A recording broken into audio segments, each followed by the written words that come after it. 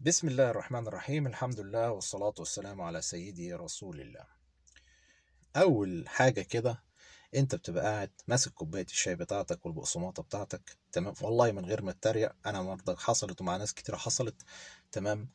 وبتفكر إن ظروف البلد زي الزفت والعيشة صعبة ومفيش شغل وفي محسوبية ومفيش أي التزام لا بمراحل تعليمية ولا بمؤهل دراسي ولا بدورات علمية بتاخدها. كل ده في الفنكوش. بتخش على ال HR تمام بيعمل معاك meeting اللي جاية بواسطة بتشتغل واللي جاي واسطة يشتغل واللي مش جاي من غير واسطة بيقول له آه، شايف الباب روح افتحه أو لو قالها بطريقة مؤدبة يقول له هنبقى نتصل عليك ولا بيتصلوا ولا بيعملوا وبتبقى معروفة ومحسوبة وهو بس حتة فيو كده بيتعمل إن في اختبارات وفي مسابقات لاختيار الأكفأ لحيازة هذه الوظيفة أو العمل في آه، هذه المؤسسة. طبعا الشخص بيبقى جاي محمل بالآمال وبيبقى خارج محبط فكاره عيشته وعيشة اللي جابوه فبيعمل إيه؟ بيفكر في الحاجة الأسرع والأفضل بالنسبة له أو من وجهة نظره وهي السفر.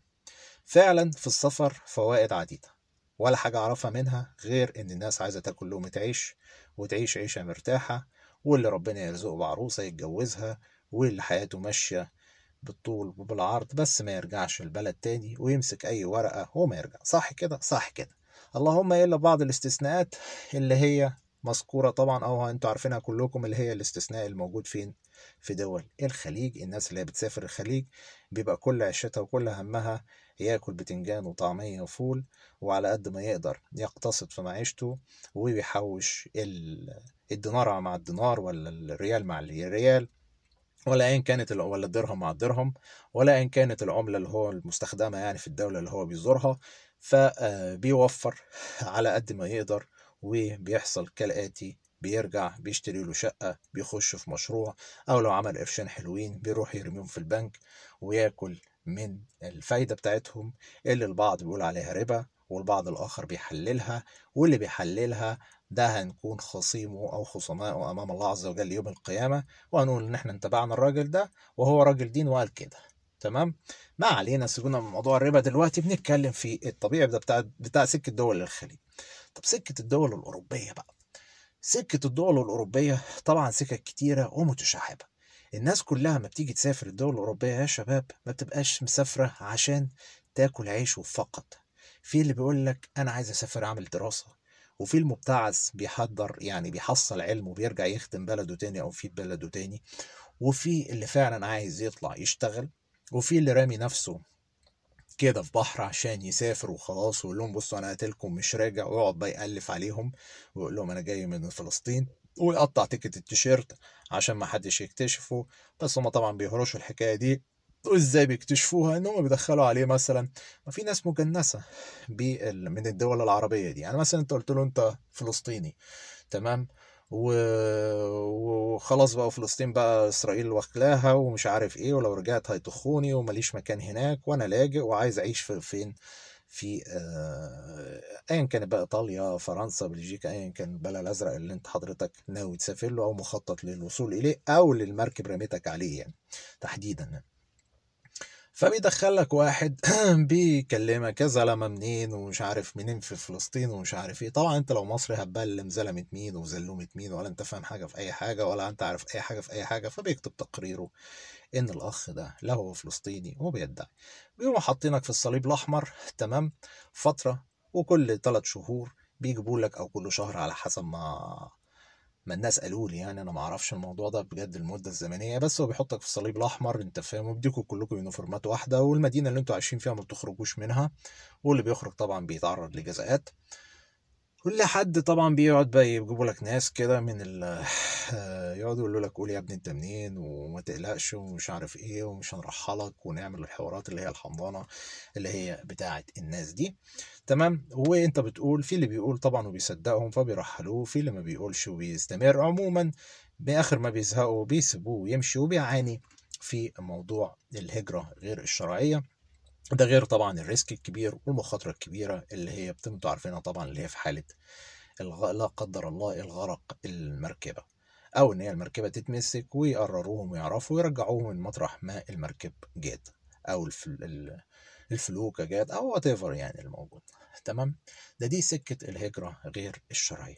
وفي طبعا اللي فعلا بيبقى جاي من دول فعلا عندها ظروف استثنائية زي مثلا ليبيا سوريا فلسطين وبيثبتوا فعلا إن هم من أهل البلد دي وبياخدوا إقامات أو بياخدوا أوراق لجوء إلى أن يبت في أمرهم.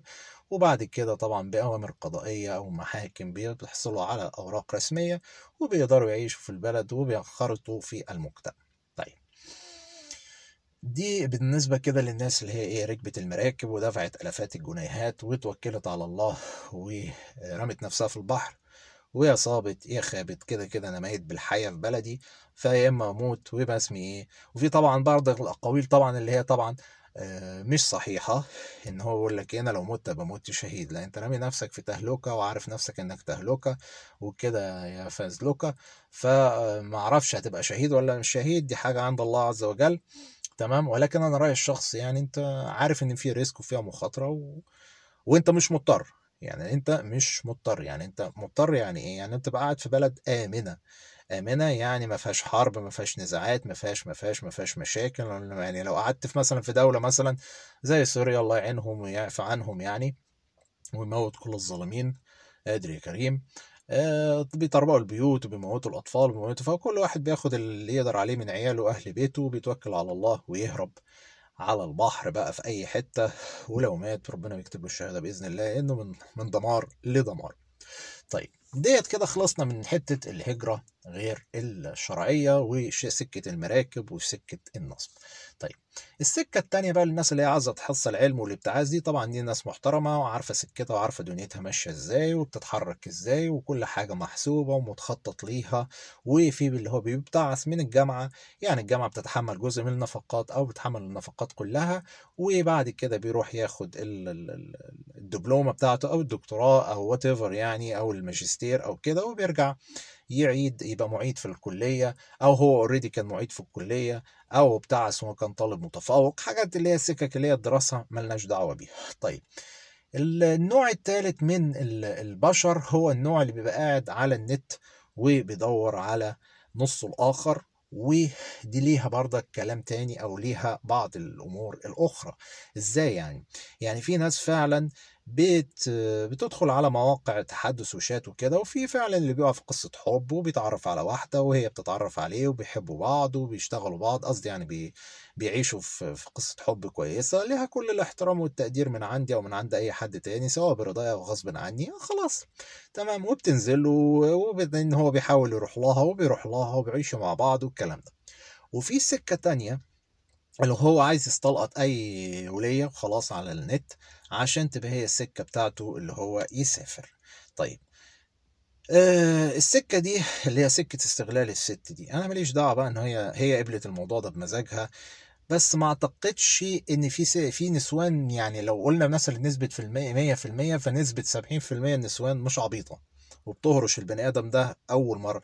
وإحنا عيبنا كمصريين أو كعرب عموما بلاش كلمة مصريين دي إن إحنا قلبنا طيب ويعني إيه ما فيناش الخبث ولا اللؤم اللي هو آه، يأهلك إن أنت تصبر تصبر تصبر لحد تحصل على آه، مبتغاك وهي الأوراق طبعا يعني وأنت ما بتتجوزهاش وخصوصا دي لو واحدة كبيرة في السن مثلا عند قد تيتا قد تيزا فأنت في الحالة دي أنت بت, بت يعني إيه بتتجوزها طبعا مش حبا في اللي جابوها يعني أنت بتجوزها عشان تعمل ورق فهي ممكن تقول يا تقتنع إن أنت فعلا حاببها يا ما تقتنع. بس عشان تقتنع وما بتقتنعش دي بتبقى مقدمات أنت بتعملها من خلال أفعال أنت بتسويها معاه. يعني إيه أفعال بتسويها معاه؟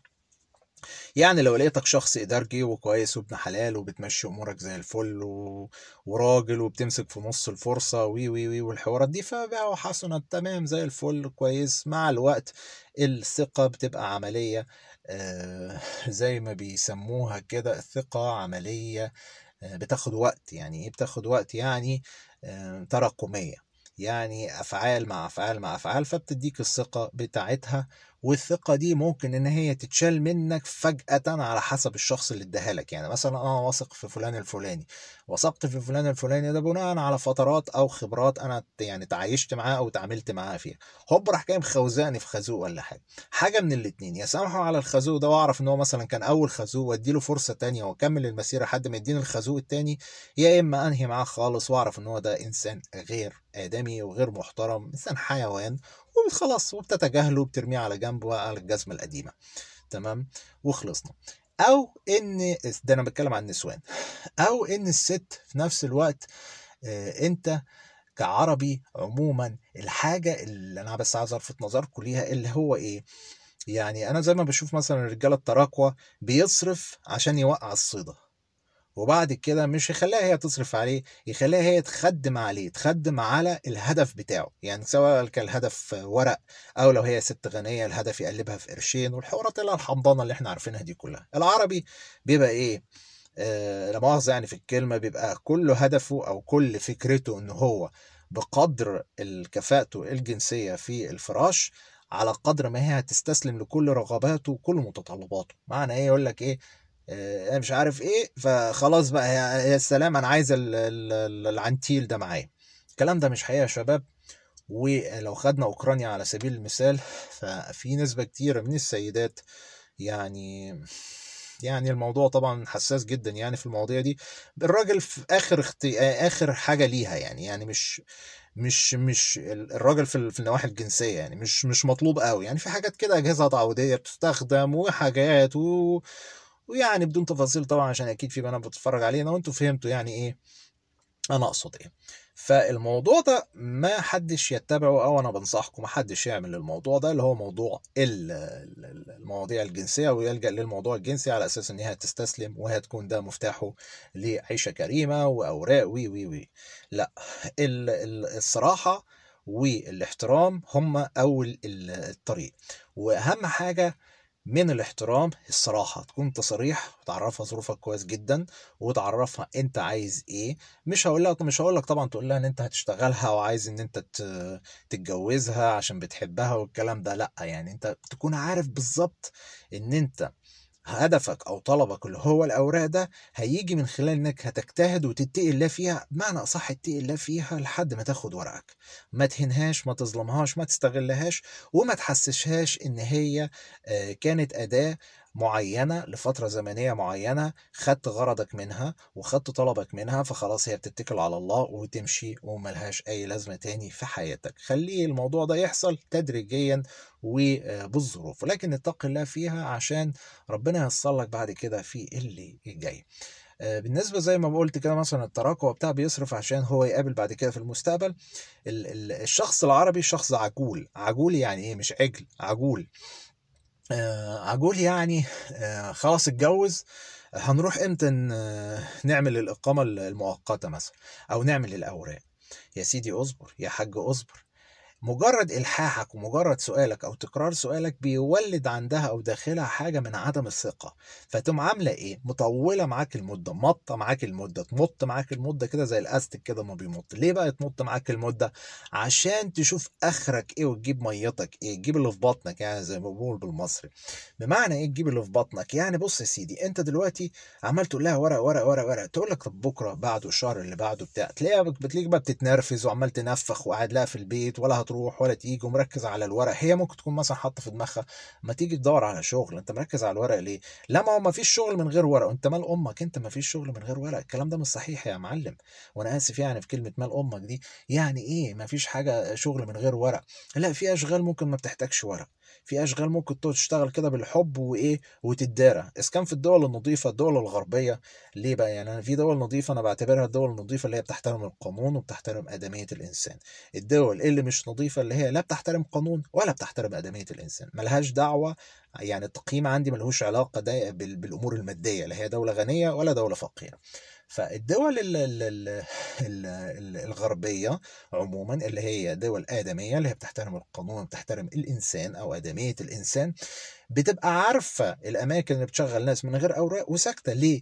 لأن المجتمع بتاعهم ما بيسمح لهمش إن هم أو يعني عندهم مثلا حتة مثلا زي الهولنديين على سبيل المثال ما بيشتغلوش اللي هي الديرتي وورك يعني أو الأعمال القذرة وكلمة ديرت يعني قذرة يعني مش اللي هي الأعمال المهينة اللي هي الأعمال اللي فيها عتالة الأعمال اللي أنت بتتنظف بتنظف مكاتب بتمسح مش عارف بتغسل الكلام ده بتغسل مواعين الكلام ده. فدلوقتي على فكرة والله بدأوا يشتغلوها يعني أنت فاهم في ظروف الكورونا والقرف وغيره وغيره وغيره والظروف الاقتصادية فبدأوا إيه يتنازلوا عن العنجهية بتاعتهم وبدأوا يشتغلوا وخصوصا بعد اتجاه الحكومات الغربية لتقليل النفقات وبالتالي قللت الأوت كيرنج أو الضمان الاجتماعي فبدأوا يخرجوا ويشتغلوا زي الفل وبياخدوا على دماغهم وبيشتغلوا ما بيقولوش لأ مفيش أي مشاكل. ولكن دي أنا بتكلم على الدول النظيفة. طيب إحنا اتشعبنا كده ورحنا بالموضوع بعيد بعيد بعيد خالص. فنرجع تاني لموضوعنا.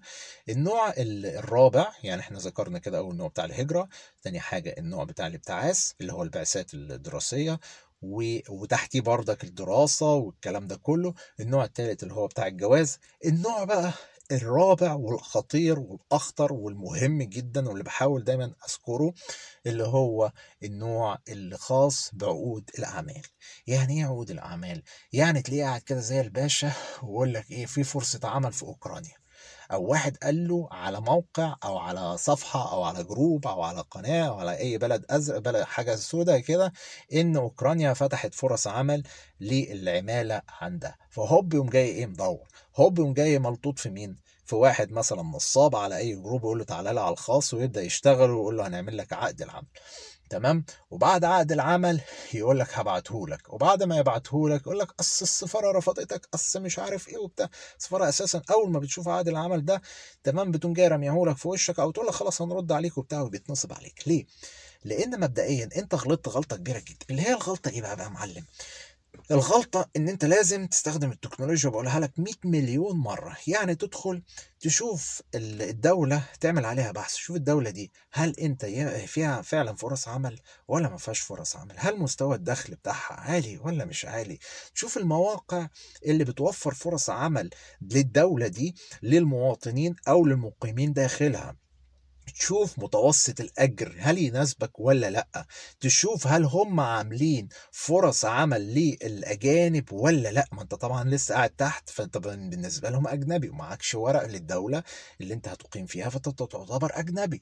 فأنت لازم تشوف الموضوع ده ولازم تبحث الموضوع ده من الأول للآخر. ما تجيش أنت كده تقول لك هوب هي لسعت في دماغي. يعني في ناس بعتت لي مثلا على القناة يقولوا لي إيه؟ يقولوا لي مثلا إيه؟ يا عم رامي في واحد هيبعت لي عقد عمل جزارة آه، أولاد نحمده مثلا في في في في سنتر أمستردام جنب محطة القطر الرئيسية بتاعت أمستردام. تمام؟ هيبعت لي العقد ده وعايز مني 1700 يورو. هل 1700 يورو ده كويس ولا غالي على العقد؟ لا إله إلا الله.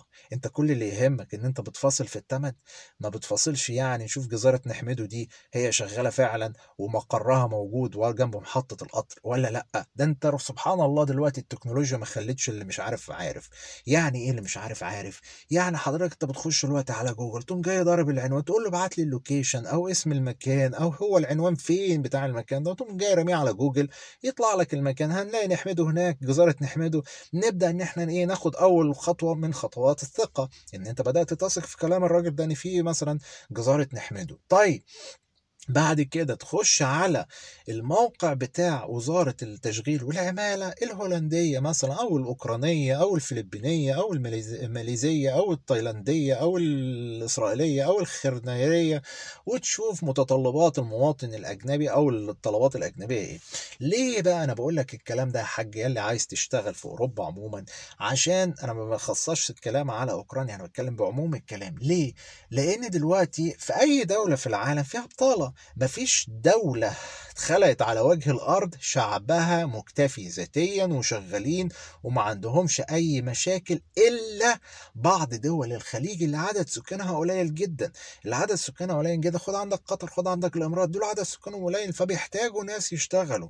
تمام؟ هم ما بيشتغلوش أو بعض منهم بيشتغلوا وبعض الآخر ما بيشتغلش. أو أو أو دي مشكلتهم ودي ظروف بلدهم وده اقتصادهم وهم مشيوا على كده مستسلمين متسستمين على كده ودي حياتهم. والله يوسع عليهم ويرزقهم ويرزقنا معاهم تمام؟ لكن انت ما تجيش انت مثلا على دولة مثلا زي أوكرانيا ولا هولندا بصرف النظر بقى طبعا عن الناس اللي هي المحبطة اللي يقول لك إيه ده أوكرانيا بلد فقيرة وما فيهاش فلوس. واحد تاني يطلع له يقول انت انت بتقارن أوكرانيا بمين؟ ده إحنا بلدنا معفنة ده بشوف ده بيعملوا صواريخ ده بيصدروا قمح ده بيصدروا سكر ده بيصدروا كمون. انت لا انت فاهم أو انت مخك هيتوه ما بين اللي بيمجد في البلد وبيطبل لها واللي ناقم على البلد وكارهها فأنت هتقول لي اللي كارهها وأنت قاعد فيها ليه؟ ما هي بلد زي الزفت واللي بيطبل لها وأنت بتطبل لها وفشخ الموضوع قوي زي كده ليه؟ وأنت شغال إيه؟ شغال رئيس وزراء هناك ولا لأ؟ ده أنت شغال على الله هناك فأنت مطبل لها قوي ليه كده؟ فاهمني؟ ما ينفعش يعني إيه ما ينفعش؟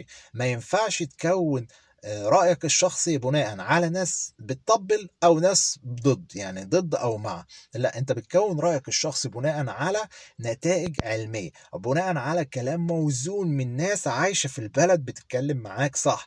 واحد مثلا قال لك أنا عايز واحد مثلا طلع على سبيل المثال يقول لك مثلا إيه أنا عايز أجي أوكرانيا أشتغل أدرس وأشتغل. وعايز أعرف المرتبات بكام ويبدأ يتكلم بقى إيه سكة الدراسة دي ينساها خالص ويبدأ يتكلم عن الشغل وبكام ومش عارف إيه والأفلام الهندي دي. طب يا حبيبي يا غالي يا طيب أنت نسيت أنت جاي دراسة عشان عشان تدرس. ما اتكلمنا عن الدراسة عايز تدرس إيه؟ مؤهلاتك إيه؟ لأ هو أنا. إحنا اتهرشت إن هو عايز يدرس عشان يعمل الدراسة سكة عشان يجي يعمل إيه؟ يشتغل. وبدأ إن هو بقى يسترسل في المعلومات انه عشان يجني المعلومات هيشتغل إيه؟ وهيشتغل بكام؟ ودنيته وليلته وعامل إيه؟ ودنيته ماشية إزاي؟ والحوارات الحمضانة دي كلها. طيب. آه طيب يا سيدي أنت دلوقتي لازم تبقى عارف قوانين إن مثلا اللي بيدرس ملهوش حق العمل. يعني إيه اللي بيدرس ملهوش حق العمل؟ لأن اللي بيدرس المفروض بيدرس. ده داخل يدفع فلوس للدولة مش جاي ياخد منها فلوس. طب اللي بيشتغل في الدولة بيعمل إيه؟ اللي بيشتغل يا إما بيشتغل أسود أسود يعني ضد القانون بدون أوراق يا إما بيشتغل أبيض يعني بيدفع ضرائب. أنت هتشتغل أسود ممكن. مش هقول لك مش ممكن. ممكن وانت بتدرس تشتغل. ولكن لو انت هتشتغل أسود فانت. هتستغل. يعني اللي هي... اللي هيشغلك هيستغلك. بصرف النظر بقى إن اللي هيشغلك ده مثلا أوكراني أو أو عربي أو whatever يعني أنت فاهم؟ بس هيستغلك. واحد يقول لك لا أصل الأوكراني مش عمره ما يستغلك ده العرب هم اللي يستغلوك. لا يا حبيبي ده في أوكراني ولاد عورات شياطين. وبياخدوا مين بقى؟ ياخدوا يشغلوا في الفوركس واللي هي ال call center والكلام ده بيروحوا يشغلوا بقى الناس من نيجيريا ومن مصر وبالدول من سبعة لسبعة وبيدوهم مثلا 200 دولار و300 دولار. ده استغلال. أنت فاهم يعني ده بيتسمى استغلال. ما تشتغل 12 ساعة وعمال تتكلم في التليفون وبتاع واكل دماغك وواكل دماغه وقارف الدنيا خالص وفي الآخر بتاخد. آه 300 دولار يعني يا دوبك بالكاد أوضة عند خزايكة مثلا ولا عند حد يستضيفك في أوضة أنت فاهم وبتدفع إيجارها يعني مش يستضيفك لله في لله بجانب المواصلات بجانب أكلك وشربك فخلاص. فخلاص كده اترقعت وأنت بتشتغل بقى بتبقى إيه عبد لهذا الشغل يعني ومش هتقدر تتحرك لا يمين ولا شمال. فالمبتغى أو الخلاصة يعني في الكلام إنك أنت لازم تدرس ظروف البلد وهل تعرف قوانين البلد كويس. طبعا لو أنت هتشتغل قانون يبقى أنت لازم تدفع ضرائب والقانون الأوكراني أو القانون الدولي في أي دولة في أوروبا لا يحق لك العمل وأنت طالب إلا في بعض الدول اللي بتديك عدد ساعات عمل لا تزيد عن أربع ساعات عمل عشان تجني بعض الأم الأموال اللي تساعد إلى حد ما في حياتك اليومية أو حياتك الشهرية عشان مش هما بيتعاملوا معاك أو بيتعاطفوا معاك لأ أنت كده كده جاي تدرس فأنت جاي تدفع فلوس للدولة. تحط فيها فلوس تحط فيها عملة صعبة مش جاي تاخد منها فلوس تمام؟ فأنت لازم تكون فاهم الموضوع ده. يا اللي جاي عشان تدرس وتعمل الدراسة سكة عشان تشتغل في أوكرانيا فأنت لازم تكون فاهم الموضوع ده أوكرانيا أو غير أوكرانيا. طيب أنا مش بسدها في وشك أنا بوضح لك اللي موجود حاليا. وسنة عن سنة يا أخي الفاضل يا أخي العربي الكريم وأختي العربية الكريمة سنة عن سنة بتستحدث إجراءات جديدة الغرض منها تعقيد الحصول على الأوراق القانونية داخل البلد. يعني العبد لله معاه مثلا آه، ورقة معينة تمام؟ قانونية تعيشه في البلد. واحد تاني جه خد نفس الورقة دي السنة دي. الأوراق اللي اتطبقت عليا تمام؟ الأوراق اللي أنا جمعتها عشان أرميها للجوازات والهجرة عشان يدوني الأوراق القانونية اللي هي معايا حاليا اللي جاي لي بعديها بسنة عمل نفس الأوراق دي وزادت عليها ورقة كمان. يعني إيه زادت عليها ورقه كان؟ يعني اخترعوا لهم فكرة جديدة عشان تعقيدة جديدة أو فكرة جديدة عشان يكتشفوا مثلا في ثغرة قانونية ما ثغره قانونيه موجودة في, في القانون ده استغلت وحسوا إن الناس بتدخل منها دخلة 100 100 فيقول لك لأ نسدها له نسدها له إزاي؟ نضيف له ورقة إضافية مش هنلغي القانون هنضيف له ورقة جديدة تعمل له مثلا إيه؟ كنترول تضرب له فرامل شوية تخليه يعيد تفكير شوية تمام؟ فالورقة دي انت شخصيا ما تبقاش مدرك لحجمها أو مدرك إن هي هتبقى ماشية إزاي الفترة اللي جاية. تمام؟ فبتلاقي نفسك إيه يا معلم؟ فبتلاقي نفسك آه لبست في حيطة ودفعت فلوس كتيرة وأمور اتعقدت معاك ما بقتش زي الأول. فتيجي تكلم مثلا رامي تقول له بقول لك يا رامي أنت خدت الورقة دي وأنا هاخدها أو مقدم عليها. هما ليه طالبين الورقة دي؟ أنا مال أم أنا طالبين الورقة دي ليه؟ يعني هم قانون وطلبوا الورقة دي أنا أعمل إيه؟ تمام؟ يعني أنا بقى هشتغل لك بقى فيها جوجل وأفتي لك ومش عارف أقول لك روح المكان المخصص واسال ليه هم طالبين الورقة دي. أو مش هتسأل ليه طالبين الورقة دي الورقة دي بتتجاب منين وبتتجاب بكام وبتتعمل إزاي. بيخش لك بقى بعض الناس أو السكك اللي هي بتاعت النصابين عموما مش المستغلين. تمام؟ يعني خليك دايما دماغك كده صاحية في حتة مهمة جدا ان في مستغل وفي نصاب. المستغل اللي هو بيستغلك في في في, في تخليص الورقة لكن بيخلصها لك. النصاب بياخد منك فلوس ويقول لك أمك في العش ولا طارت ولا بيخلص لك حاجة ولا بيعمل لك حاجة وتاني يطول لك في المدة وفي الآخر لحد ما يزهقك وتقول لك أنا مش عايز الموضوع يقول لك بس اهي جت منك. أنت مش عايز خلاص مالكش حاجة عندي. وشكرا وكرسي في الكلوب واختفي وعندك الحكومة روح اشتكي. تمام؟ لذلك أنا بنصح الناس اللي عايزة تعمل أوراق وعشان تختار يعني تخلص العامل الزمني مثلا يعني إيه مثلا؟ عندنا مثلا في مصر على سبيل المثال وفي أي دولة عربية في مكاتب بتخدم الجمهور خدمات للجمهور. يعني إيه خدمات للجمهور؟ يعني مش مكاتب بتخلص أوراق. يعني مثلا أنت عايز تعمل جواز سفر. فبتقوم عامل إيه؟ بتروح تعرف الطلبات واحد اتنين تلاتة وخلصنا على كده وخلاص والطلبات موجودة عندك على الحيطة بتكتبها بتجهزها بتروح تديها لمدام عفاف على الشباك بتطلع لك مدام عفاف بتخش هي بنتصور هنا غور وتعالى لي بعد أسبوع استلم الجواز وشكرا على كده. بعض الدول الأوروبية فيها نفس الطلبات دي وفيها نفس الإجراءات دي لكن ما تبقاش عارف أنت تعملها منين. أولاد البلد نفسهم ما بيبقوش عارفين بيعملوها فبيلجأوا لمين؟ يا إما محامي هجرة تمام متخصص في الموضوع ده. يا إما مكاتب متخصصة ليها أماكن وبتدفع إيجارات بتعمل المواضيع دي بتجهز لك ملفك اللي أنت اللي الهدف اللي أنت طالبه. بتجهز لك الملف بعد ما بتجهز الملف بتقول لك اتفضل الملف هو في إيدك روح قدمه. أو لو أنت عايز extra service فأنت بتعمل إيه؟ بقول لك أنا بعت لك معاك مندوب هو يقدم لك الملف ده بس لازم وجودك الشخصي عشان أنت تمضي على الأوراق اللي هتطلب منك الامضاء حضورك الشخصي يعني يعني كده. تمام؟ أو في بعض طبعا المؤسسات لو أنت عملت توكيل لمكتب من المكاتب فأنت بالتالي إن أنت إيه عملت له التوكيل ف فبيحل محلك يعني في المكان ده. فاهمني؟ فده النوع الرابع المهم اللي هو دايما يلبس في عمليات النصب. خلاص؟ النوع الخامس والأخير طبعا في في المنظومة بتاعت الغربة دي والسفر والكلام ده اللي هو النوع الخاص بمين يا معلم؟ اللي هو عايز يعمل business في الدولة. طيب أنت عايز تعمل business في الدولة طب ما في سفارة يا أخي في الدولة اللي أنت عايز ت... يعني سفارة للدولة اللي أنت عايز تعمل فيها business يعني أنت مثلا عايز تشتري قمح وزيت من أوكرانيا على سبيل المثال. في حاجة من الاتنين بتدخل باشا على الجروبات والكلام ده وتقول أنا عايز زيت وبكام اللتر وبكام البتنجانة وبتاع وكل حاجة. وتلاقي ناس صادقة على الجروبات وفي ناس بتلم نصابة على الجروبات وفي ناس مش فاهمة بتقوم جاية هابدة أي كلام في أي كلام وخلاص بتعمل لك ما يقدرش يقول لك مش عارف ولا أعلم والحركات دي كلها. فأنت بتعمل إيه؟ اولا بتلم معلومات من على الجروبات. okay مفيش مشاكل. بعدين بتروح للملحق التجاري موجود في السفارة بتساله والله يا عم الملحق أنا كذا كذا كذا كذا الدنيا ماشية إزاي وأمورك ماشية إزاي؟ يقول لك والله اموري واحد اتنين تلاتة تناسبك ما تتناسبكش خلاص يديك أسماء شركات. يديك اسماء آه، مكاتب في في في الدولة مثلا على سبيل المثال أوكرانيا بتاع فيدي لك يدي لك معلومات قانونية وتجارية تاخدها من قلب السفارة فطلع أنت مطمن. لو أنت راجل بروفيشنال بقى وكويس جدا يعني في الموضوع ده ومزاجك حلو وعنب العنب ولوز اللوز فبتعمل إيه بقى؟ في معارض تجارية. معارض تجارية يعني إيه؟ يعني كل سنة بيتعمل معرض تجاري بتلتقي فيه آه، مندوبين من الدول. يعني مثلا الناس مثلا رجال أعمال عرب أو أوكران موجودين في معرض مثلا في دبي. يقف مثلا عنده partition وقاعد فأنت بتروح تقول والله أنا عامل كذا كذا كذا يدي لك ال business card يدي لك المعلومات وكل حاجة وبتعمل معاه deal وبيتفق معاك على أسعار مبدئية لأن أسعار المواد الغذائية بتزيد يوم بعد يوم ويمكن كمان يوميا الأسعار بتزيد. تمام؟ ال ال الشاهد في الكلام أو الشاهد في القول إن أنت ما تاخدش مصدرك من مكان واحد فقط وتآمن بيه وفي الآخر تقوم جاي لابس في حيطه بعد كده نطلع بقى ده بيشتكي لده وده حرامي وده نصاب وده سرقني وده كلني وده عملني وده سواني وده خوزقني. طب ما أنت اللي غلطان طب ما أنت اللي رحت عنده طب ما أنت اللي سمعت ليه بس؟ أصل هو كان باين طيب ومنزل أدعية قرآنية ومش عارف إيه وبما يرضي الله ومش بما يرضي الله.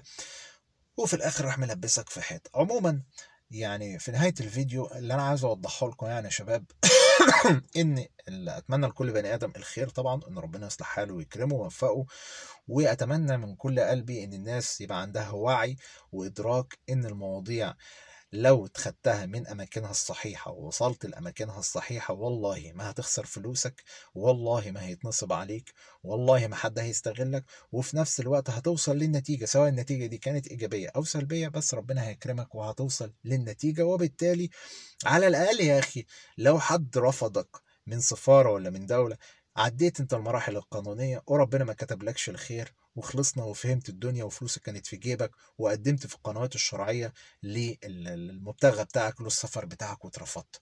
غير ما تدي فلوس لشخص ينصب عليك تمام؟ وما يبعتلكش أي حاجة ويقول لك أمك في العش والله طارت وتعالى لي لو عرفت تجيلي عشان تاخد مني فلوسي آه فلوسك والحوارات دي كلها. ده لو هو ما عملكش بلوك وراح قفل الموضوع تماما وراح جاي ماشيك آه شكرا والسلام عليكم ورحمة الله وبركاته.